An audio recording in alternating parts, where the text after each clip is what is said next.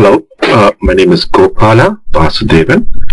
Uh, today we want to talk about the international financial markets.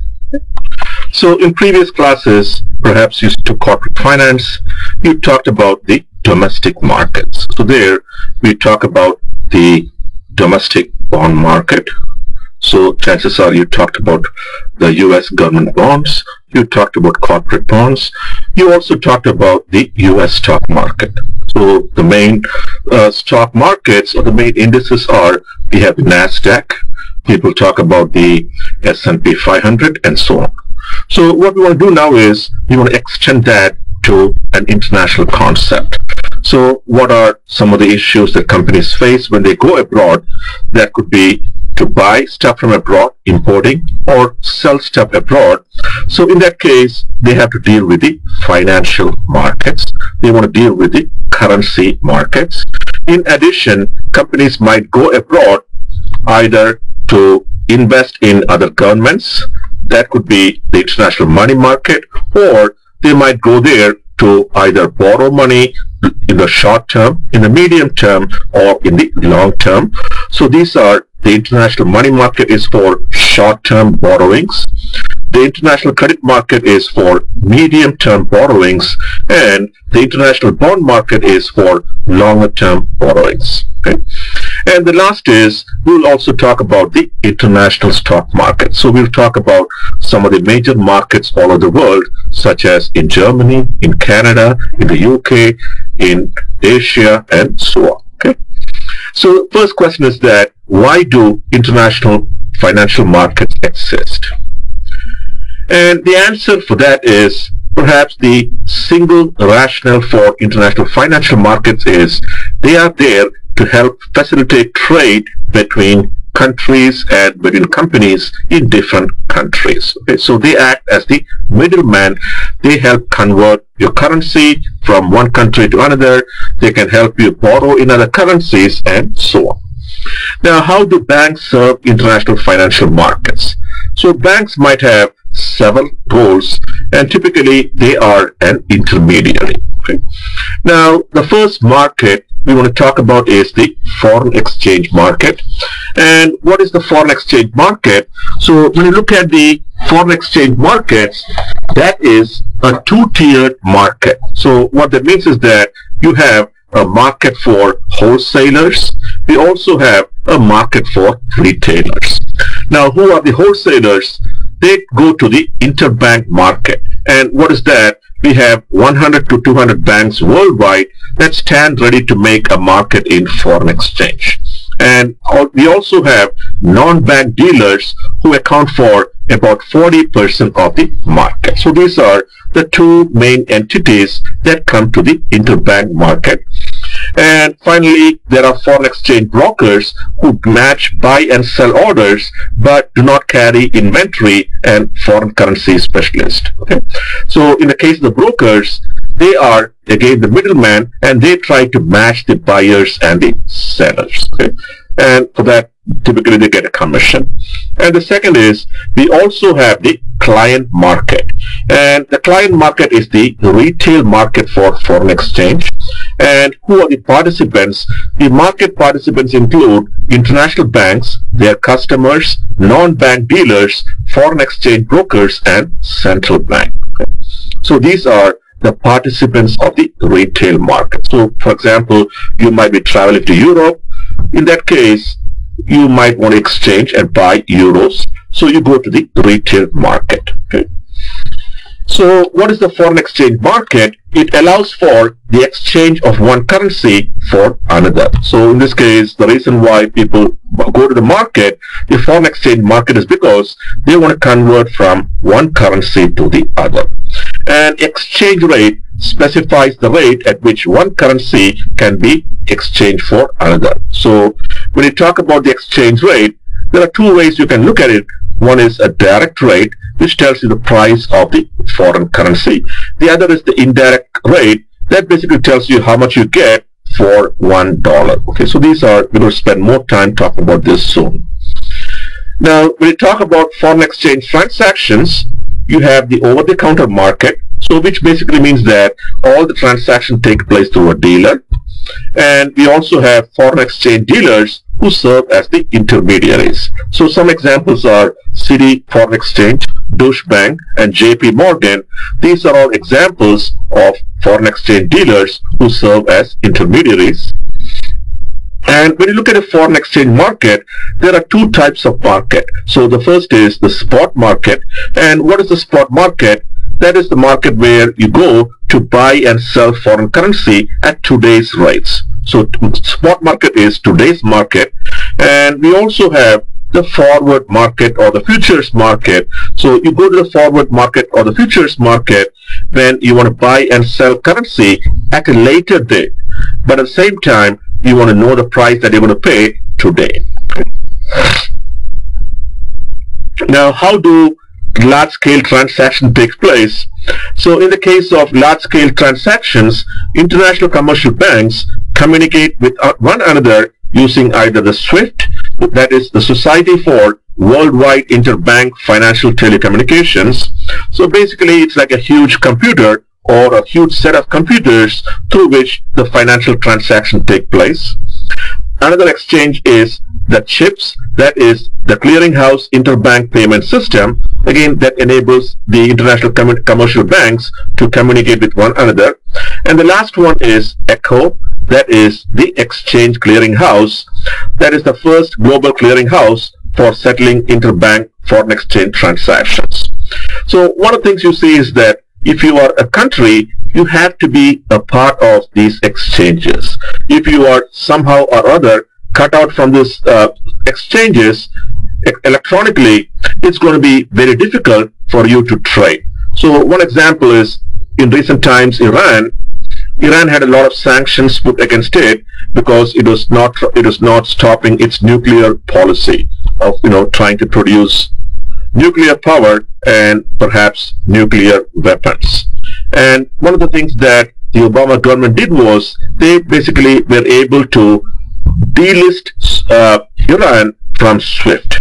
And by delisting Iran from SWIFT, the problem is that Iran's main source of income is oil. And if they are delisted, it becomes more difficult for it to trade in oil. So that is uh, a big punishment and that hurt Iran and that is perhaps one of the reasons why Iran was willing to come back to the negotiation tables. Okay. So now we want to talk about the spot market and we also want to talk about the forward market. So when you look at the spot market structure, it's an electronic market and what we see is that perhaps the most important factor is use of the dollar in the spot market, commonly accepted medium of exchange. So for a very long time, the US dollar has been the medium of exchange. Now, what does it do? The main benefit as far as the US dollar is concerned is because since that is the medium of exchange, there is going to be a strong demand for the dollar, uh, which in turn means that the value of the US dollar will appreciate. Okay. Other countries such as China and Russia have to try to come together basically to create their own currency or to have their own currency used as a medium of exchange. So far, they have not been very successful, but you know, if something like that happens, that can have an effect on the demand for the US dollar.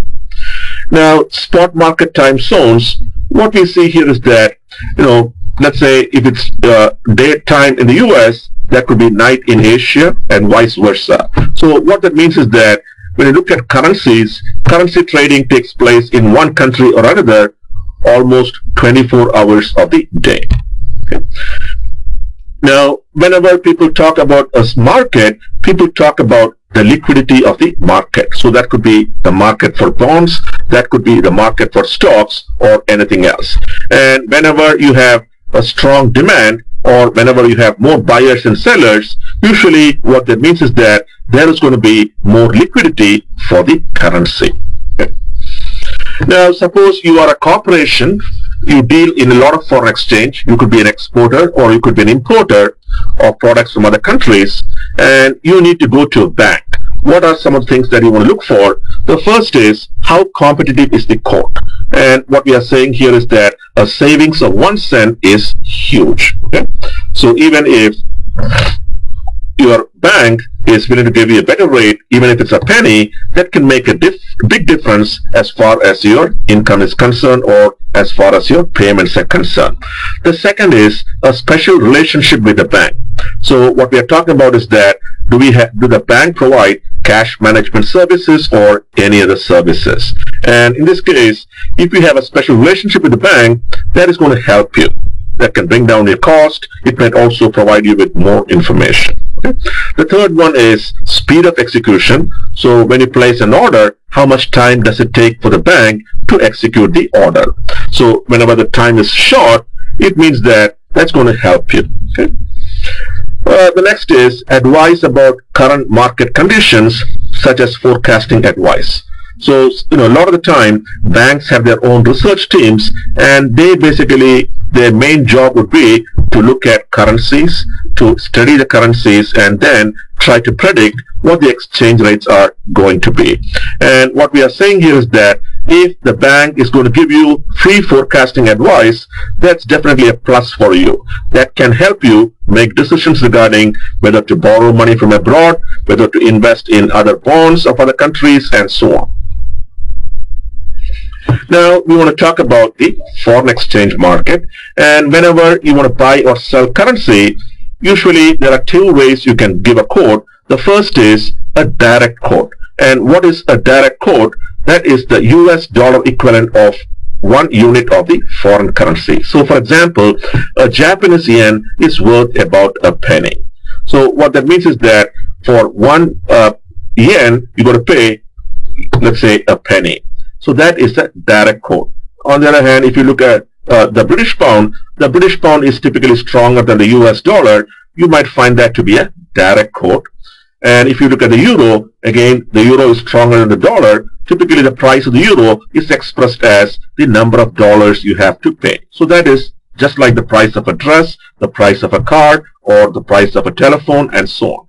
In all these cases, we have what is referred to as a direct quote and it tells you the price of one unit of the foreign currency. Now the other side is an indirect quote and what is an indirect quote? That is the price of a US dollar in the foreign currency. So what that means is that for one US dollar, how many units of the foreign currency do you get? Or if you are in the foreign country, how many units of the foreign currency you have to pay for one US dollar. So here basically what we have is that typically if you look at the Japanese yen, the quotes are in indirect terms. So it tells you that 100 yen to the dollar.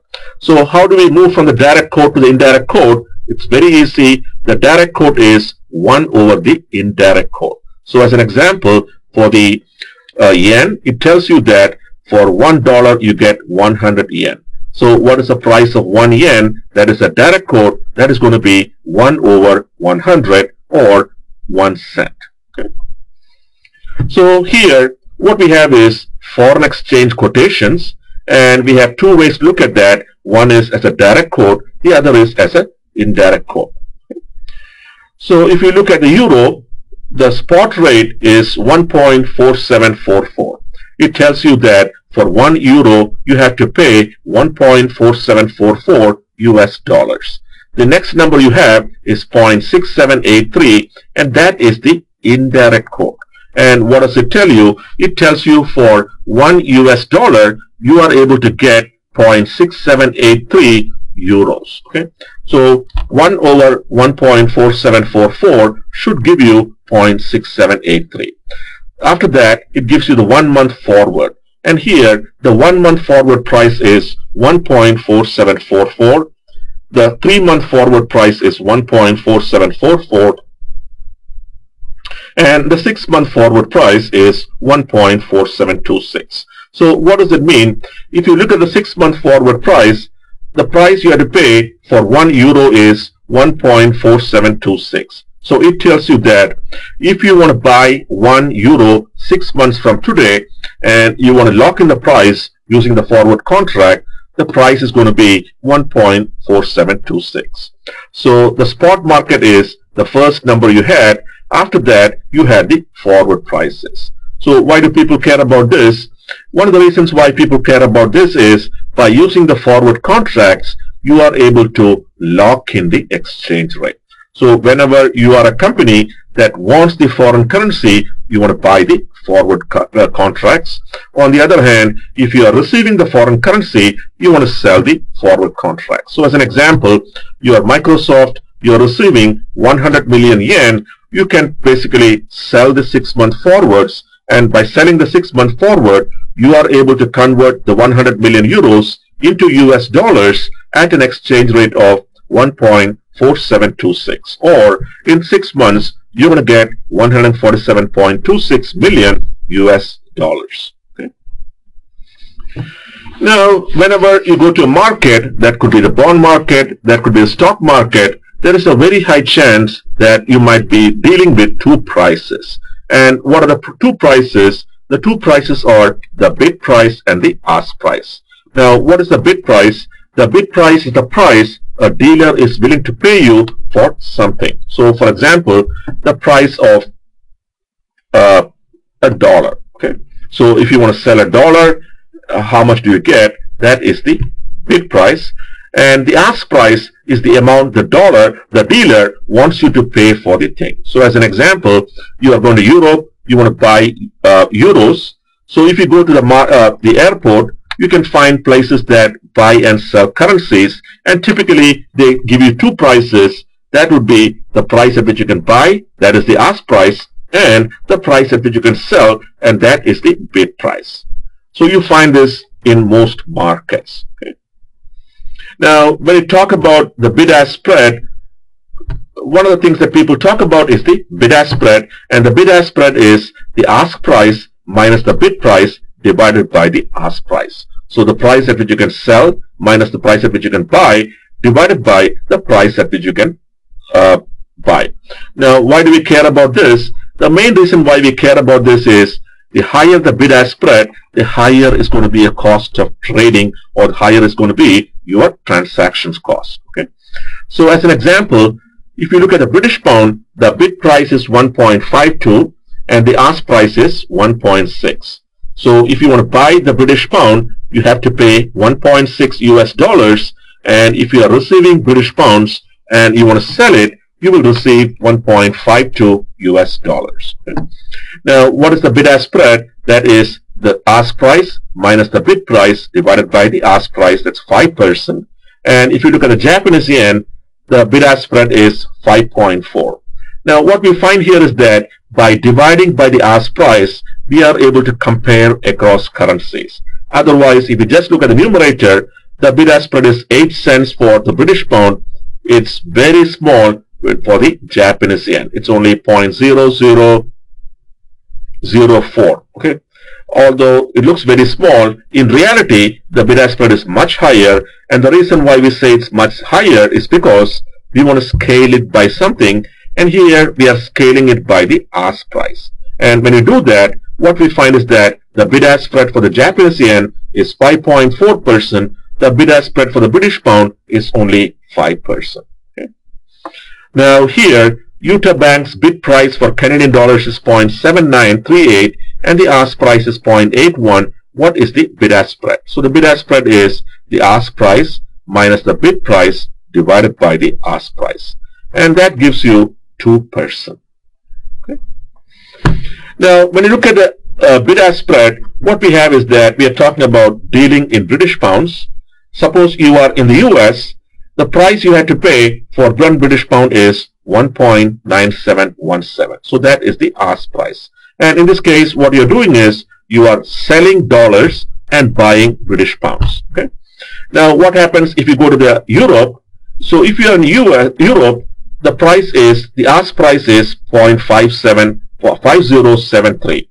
Now, what does it tell you? So, if you are in Europe, what you're doing is you are selling the British pound and buying the US dollar. Okay? And the price you are paying is 0.5073. And what we find here is that the reciprocal of the dollar to the euro bid is the uh, pound to the dollar ask. And the reason why that takes place is because we are doing the same transaction when we compare these two transactions. Okay, so as an example, uh, in the US, you are buying the British pound and you are selling the US dollar. So in that transaction, you are selling US dollars and buying the British pound. Now, if you look at the same transaction in Europe, that would be the case where you already received the uh, US dollar, so you want to sell the US dollar and receive British pounds. So in both cases, the transaction is the same. So the ask price in the US is the same as 1 over the bid price in Europe. The only difference is the transactions are the same, but the way in which the prices are quoted is different. In the US, it's a direct rate. Now, if you are in the US and looking at the same transaction in Europe, that is going to be an indirect quote. So here we have an example. A dealer provides you the following quote. In US dollars, the bid price is 0.6333 and the ask price is 0.6349. Okay. So this tells you that if you are in the US, uh, you can buy the Canadian dollar at 0.6349 and you can sell the Canadian dollar at 0.6333. Now, suppose you are in Canada, the transactions would be given as 1.5750 and 1.5790. So what does it mean? If you are in Canada, you want to buy the US dollar, so you are selling Canadian dollars and receiving the US dollars. The price is 1.5790. So when you compare these transactions, what that tells you is that a dealer willing to purchase Canadian dollars at a price of US dollar is implicitly willing to sell you the US dollars at the reciprocal price. So that is why we are saying that the when you compare the transactions, they are the same. The only difference is the way in which the prices are quoted. So when you look at the bid-ask spread, what are some of the factors that affect the bid-ask spread? So the first is the inventory cost. Now what is the inventory cost? So if you are a dealer dealing in foreign currency, one of the things you need is you need to have the foreign currency. Now what we are assuming here is that you might be having dollars in hand and rather than keep the money in the bank, you are going to buy it, use it to buy foreign currency. So whenever the interest rates are high in the US, what that means that you're giving up something and you have to, your inventory cost will go up simply because you are giving up the high interest rates. The second is competition. And what we see here is that whenever there's a high competition, you will find that the bid-ask spreads will go down. The third one is volume. And what we see here is that whenever there's a higher volume of the currency being traded, chances are the bid-ask spread will be lower. The next one is the currency risk. So one measure of the currency risk is the standard deviation of the exchange rates. So that tells you how volatile the exchange rates are. And what we are saying here is that the higher the standard deviation or the higher the volatility of the currency, the higher is the bid-ask spread. And the reason being that as uh, somebody who deals in the currency, you are facing a higher risk and one way you can bring down your risk exposure is by increasing the bid-ask spread. Okay? Now the last one is the order cost. And what are order costs? The cost of processing orders, clearing costs, and so on. So basically here, what we are saying is that whenever the order costs are higher, chances are the dealer has to make it up. And in this case, he will be having a higher bid-ask spread. Okay? So when you look at the forward and futures market, what is the definition? We're going to talk more about this in chapter 5. But basically here, what we are saying is that a forward contract is an agreement to buy or sell an asset in the future at prices agreed upon today. So what is one example of that? If you ever had to order an out-of-stock textbook, you have entered into a forward contract. So basically here, you're buying something where you might actually get the book at a later date. But at the same time, you are paying upfront for the book. The same way, you are buying the foreign currency whenever you enter into a forward contract. So you have an agreement to buy the currency at a later date. Okay? So in the case of uh, currencies, you might find bank quotes for 1, 3, 6, 9 and 12 months for forward contracts. For longer term, you might have to enter in what is referred to as a swap. So what we find here is that the most liquid types of contracts that are easily tradable in the forward market are less than one year old. Okay. Now here, it gives you a set of exchange rates. So for the British pound, today's exchange rate is 1.9717. For the one month forward, it is 1.97. For the three month forward, it is 1.9663. And the six month forward is 1.9593. So if you look at these numbers, what that tells you is that over the six month period, you can expect the US dollar to strengthen against the British pound. So we find that the price at which you can buy a six-month contract is 1.9593. That is the price of the British pound. And the reason why it's lower, one factor could be interest rates in the US and in the UK. Again, we'll talk more about this in later chapters.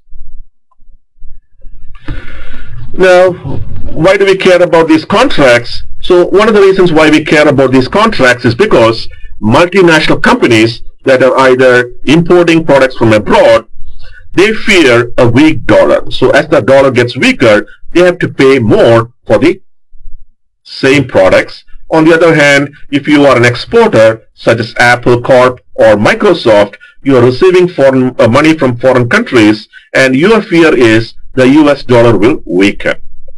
So in this case, what can they do in the forward markets? So let's look at this example. Wolfpack Corporation is a US exporter that invoices exports to the UK in British pound if it expects that the pound will appreciate against the dollar in the future should it hedge its exports with a forward contract. So basically here, Wolfpack Corporation is receiving money in British pounds and the objective is to convert it into US dollars. So what can they do in the futures market or in the forward markets? So basically what they can do is that they can sell the forward contracts.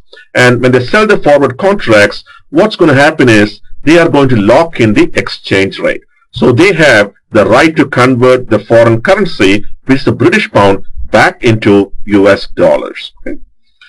Now we want to talk about the different types of markets for bonds. So the first one is the international money market.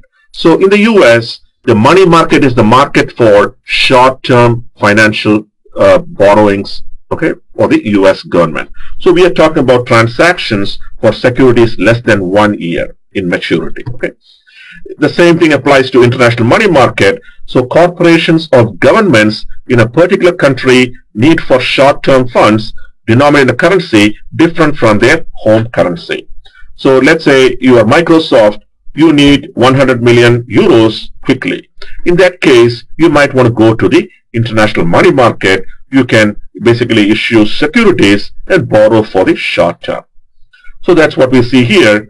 Reasons for the international money market need to borrow funds to pay for imports denominated in a foreign currency, borrowing in a currency in which the low interest rate is lower. So basically here what we are saying is that companies might want to basically do some transactions where they can bet on the exchange rates or they can bet on the interest rates. If you believe that the interest rates in Europe are lower than the interest rates in the US, you might want to borrow in the Europe. But there's a very high chance you might not make any substantial profits and the reason being that whenever the interest rate is lower in Europe, we can also expect the euro to appreciate in value against the US dollar. Okay.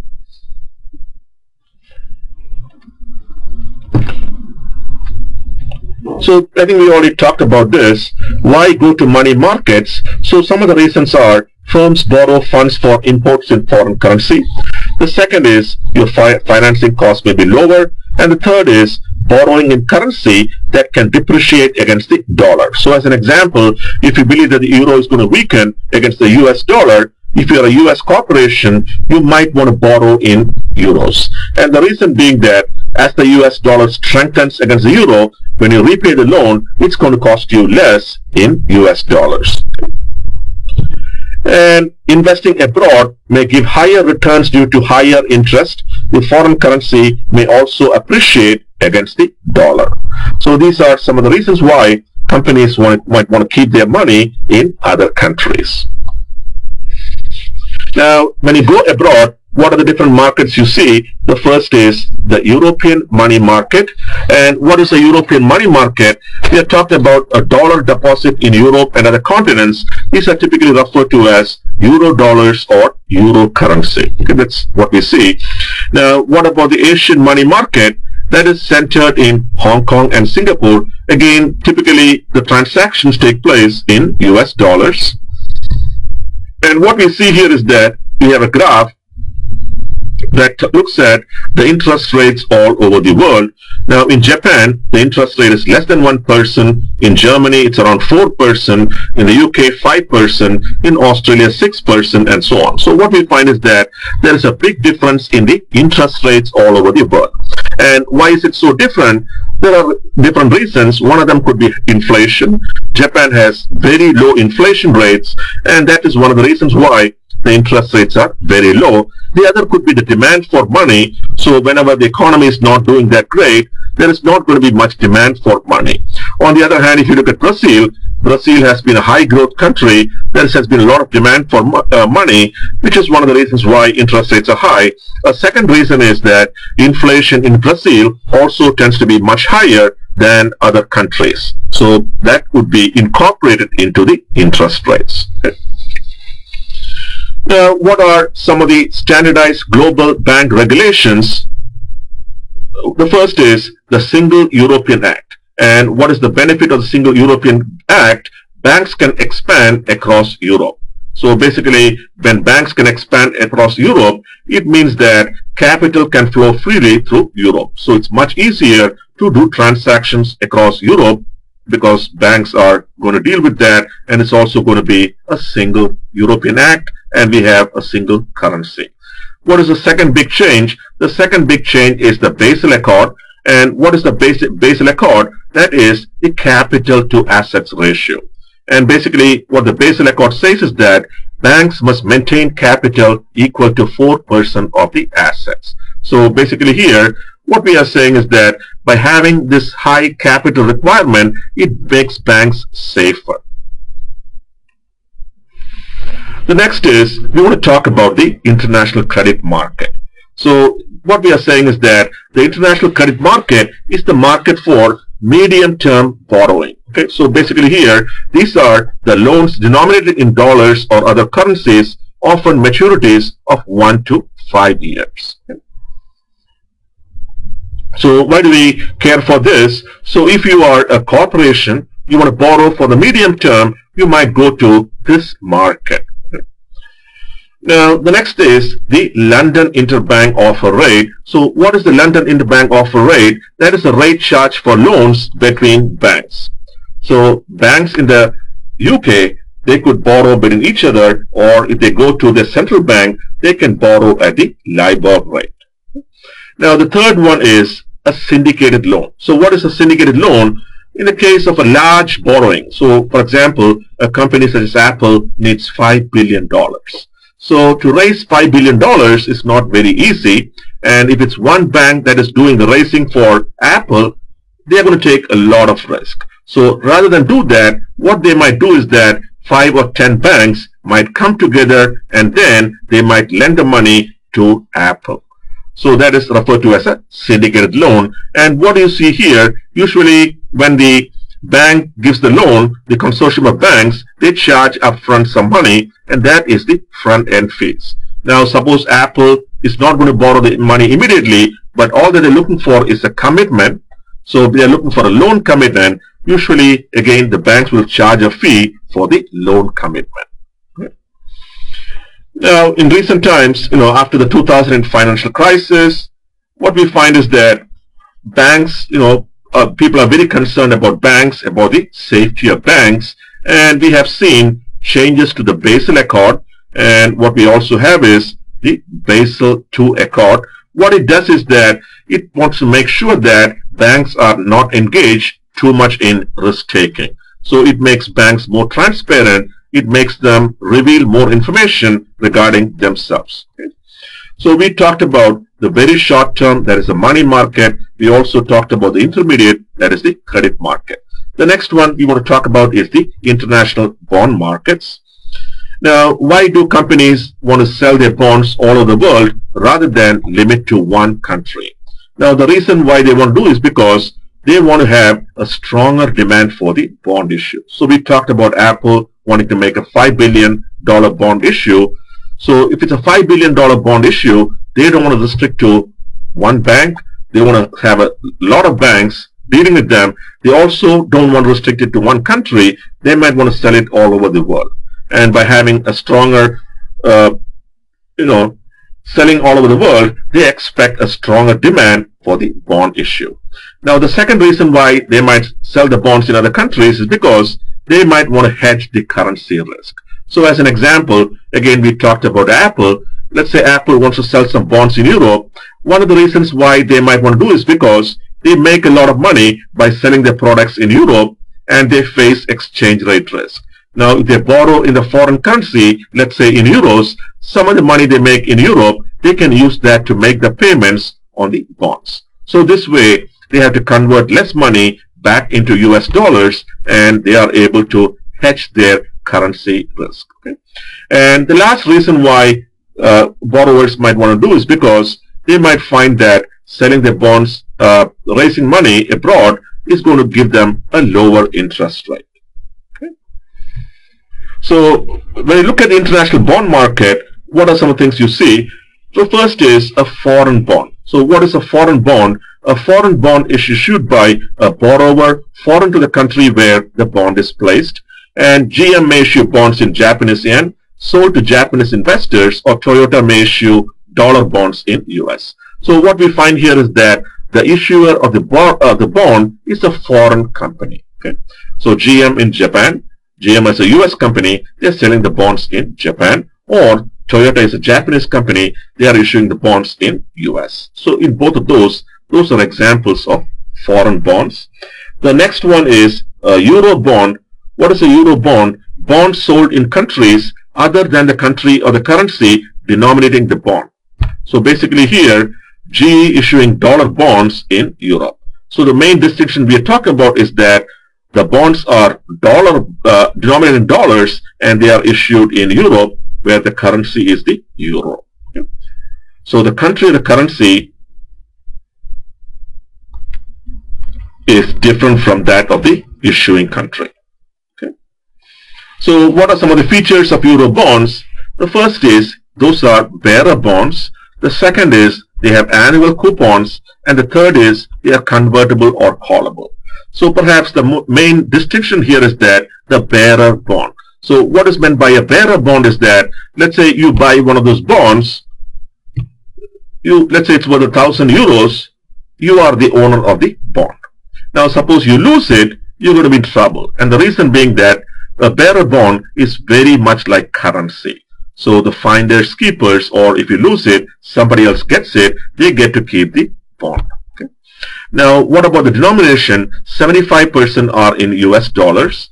And the underwriting process, it's a multinational syndicate. Now, the reason why it's a multinational syndicate is because usually the bond issues tend to be quite large and the issuing company wants to make sure that it's sold quickly.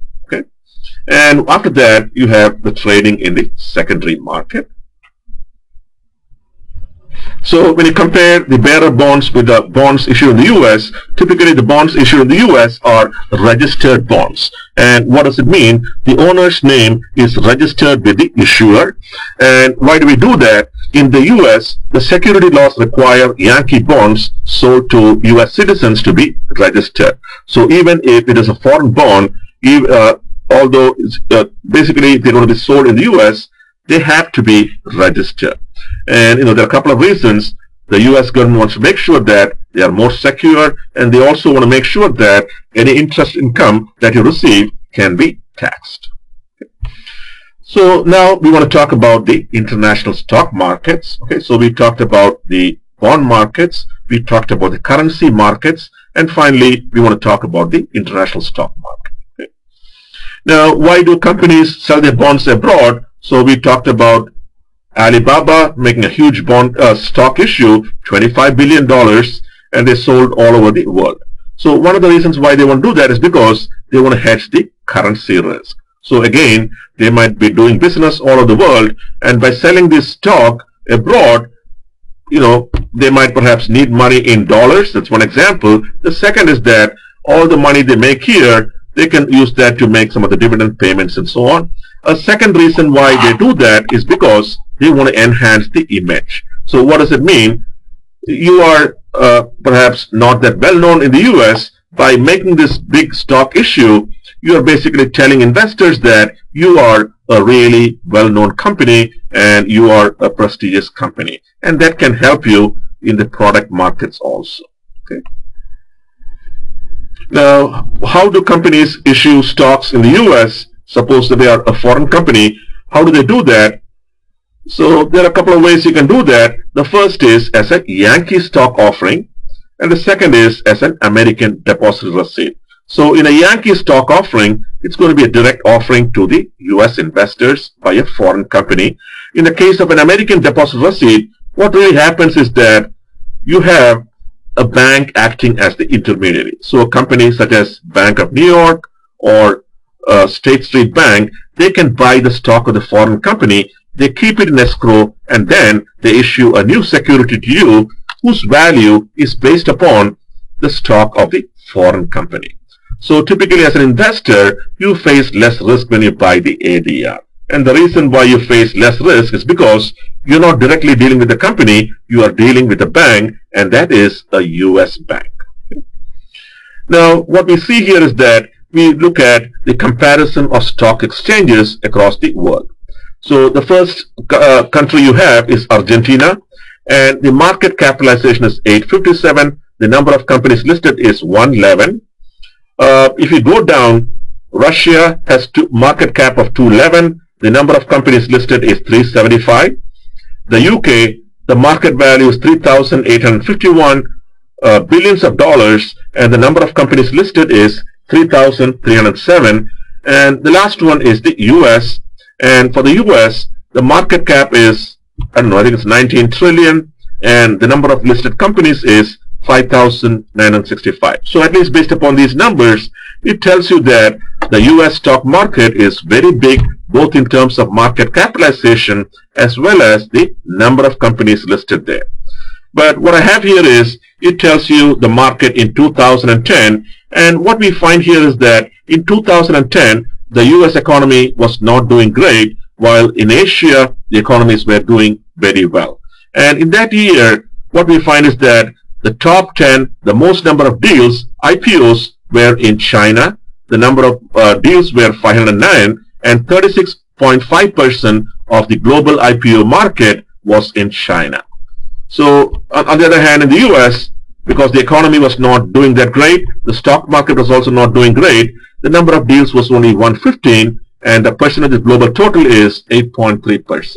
But right now, what we find is that the economy has become much stronger and the IPO market is also much bigger. So as we said before, in 2014, Alibaba, which is a company in China, they decided to do an IPO and they did that in the US. So in 2010, that is the year we talked about, what we found was some of the prestigious US companies such as Coach, Prada, Samsonite, and Kors, they decided to list their stock by a Hong Kong IPO rather than through a US IPO. And the reason being that these are you know very well-known companies and Asian people, they love these products. And simply because they had quite a lot of recognition there and also because the market was much stronger outside, they decided not to list in the US, the IPO, they decided to basically do an IPO in Hong Kong. Okay. Uh, what else do you see in the markets? So you might see that a stock is listed in more than one exchange. So some examples are Adidas, Bayer, Nestle, and Mercedes-Benz is another example. So they basically want to list not in one market, which could be the home market. They want to list the stock in different exchanges all over the world. Now, why do they do that? There are several reasons. One is perhaps to hedge currency risk. The second is to enhance their image, uh, more name recognition and so on. Okay. And what we find is that the number of firms doing this has exploded in recent years. So more recognition, uh, marketing advantages, and finally, it might mitigate the possibility of a hostile takeover. So basically here, the reason being that for an investor who wants to take over this company, they have to buy the stock not only in, let's say, Germany, they also have to buy the stock in the US and so on. So that makes it more difficult for a potential uh, takeover of the company. So what is a Yankee stock offering? That is a direct sale of new equity capital to US public investors by foreign firms. So privatization in South America and Eastern Europe because of that, a lot of companies which were previously government companies, they basically went public and they did sell the stock through a Yankee stock offering. Other examples would be equity sales by Mexican firms trying to cash in following the implementation of NAFTA. So after NAFTA, there was a lot of interest in Mexican stocks and by having a Yankee stock offering, uh, Mexican companies could sell their stock directly to US investors. On the other hand, in the case of an American deposit receipt, that is a receipt that represents the number of foreign shares that are deposited at a bank. And basically, a bank that acts as a middleman is buying the shares of the foreign company and then uh, basically they issue new stock in the US. So what is the role of the bank? They serve as a transfer agent for the ADR. Okay. Now as an investor, what is the benefit for you? The main benefit is that uh, ADRs are denominated in US dollars, trade on US exchanges, and can be bought through any broker. So as an investor, you are basically doing the same transaction you might do to buy a US stock. You don't have to worry about foreign currency risk and so on. Now, what about the dividend you receive? The dividend you receive is also going to be in US dollars. So you don't have to worry about exchange rate again. And most underlying stocks are bearer securities. The ADRs are registered. So what that means is that even if you lose the certificate, you don't have to worry about that because if it's a US ADR, that's going to be registered in your name, even though the parent company stock could be a bearer security. Okay? So the last thing I want to talk about is we want to look at the different exchanges and we also want to look at the symbols for that. So the first is in the US, we have the Dow Jones Industrial Average. So the symbol is DJIA. And what is that? That is supposedly represents the best known companies in the US. The next one is the NASDAQ and the symbol for that is CCMP that typically represents smaller companies that tends to have a large number of technology companies. The next one is the S&P 500. So in the case of the S&P 500, usually that is supposed to have a good representation of the US stock market. It has 500 or perhaps some of the well-known companies in the US. And when compared to the Dow Jones, the benefit is you have a large number of companies. You have much larger number of companies when compared to the Dow Jones. The next one you have is the TSE 300. Now, what is the TSE 300? That is the Toronto Stock Exchange 300 stocks, and that represents the Canadian market. Next, we have the Mexican Bolsa Index, MexBol, and what it tells you is that that is the index of some of the best known companies trading in the Mexican stock market. Now, suppose you go to Europe, what are some of the exchanges you see and what are some of the indexes? The first one is FTSE, that is the UK index. The next one is the CAC 40, that is the French index that has 40 of the most prominent stocks there. The third one is the Frankfurt DAX index. So that is the German index. Next we have the IBEX index, that is the Spain index.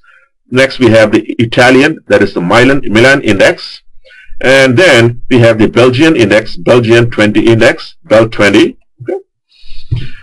Uh, the next one is we have some of the Asian equity markets. So the Nikkei 225 index, the Nikkei index is the Japanese stock market. And here we have 225 stocks that represents the Japanese market. The next is we have the Hang Seng index. Hang Seng is the Hong Kong index, HSI. Then we have the Sing Straits Time Index, uh, Singapore uh, uh Index, that is STI, and then we have ASX, All Ordinaries Index. So that is the Australian Index. Okay. Now, why do we care about these indexes and why do we care about the iShares? So what I have here is when you look at the iShares, these stocks are referred to as ETFs. And what is an ETF? An ETF is an exchange traded fund.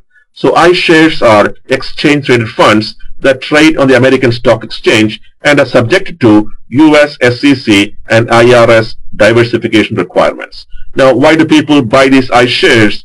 The reason why they buy it is because they tend to be a low-cost, convenient way for investors to hold diversified investments in several different countries. So as an example, you believe that Germany is a great country, their economy is doing great, you want to invest in Germany. Now it's very difficult for you to do some analysis and find out good German stocks. So rather than do that, you can basically invest in the whole German index. And to do that, you only want to buy one stock and the symbol for that is EWG. Okay? Now, if you want to invest in Japan, again, there is a uh, iShare and that is iShares MSCI Japan Index Fund. The next is you believe you, uh, China is going to do great. You want to invest in China. You could buy iShares FTSE China. You want to invest in Brazil. Again, you have MSCI Brazil Index Fund and so on. So what this does is that by buying these ETFs, you are getting diversification, which is very important because you're investing in the whole market and typically you don't have to worry too much about analyzing individual stocks. So typically what we say in finance is you're always better off investing in a diversified index. Okay? Now what we see here is that it talks about the impact of governance on stock market participation and trading activity. So what we see here is that if you are an investor, you want to invest in countries where you have very high shareholder protection because you want to invest millions of dollars or even if it is $100, it's your money, it's very important for you. You want to make sure that you are protected. And how can you make sure? Some of the things you want to make sure is that shareholder voting power. So you want to make sure that the shareholder voting is not concentrated within a few people. You want to make sure that it is one share, one vote, and minority shareholders have protection. So that is the strong shareholder rights. You also want to invest in countries that have strong securities laws. So even if the management may not do something ethical, you want to make sure that you are protected. And in countries that have strong security laws, you will have stronger protection. Low level of corporate corruption. So if you look at countries like Brazil, uh, Brazil, Russia, India, and China, they were the fast growing countries, but they also tend to have high levels of corporate corruption and that's not good for shareholders. You also want to have high level of financial disclosure. So if you put them all together, managerial decisions are intended to serve shareholders. When you have high shareholder protection, you have shareholder voting power, and you also will have greater transparency of corporate financial conditions. So by having both of these together, it makes a good place to invest.